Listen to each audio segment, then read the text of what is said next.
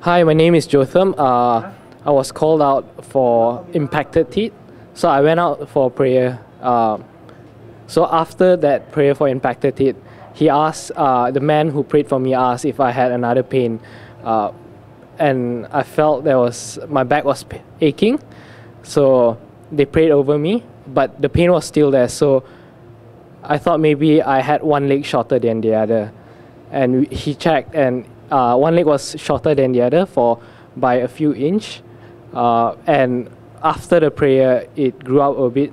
It grew out, and uh, I stood up and I felt a bit lighter. I felt actually lighter. It, yeah, so so it was it grew out. Your leg grew out. yeah, my leg grew out. Was the pain still there? Right now, uh, I don't feel uh, when I every time when I stand, I feel like one leg uses heavier weight than the other. But right now, I feel balanced. So yeah, I feel more relaxed. Awesome. Amen. Man.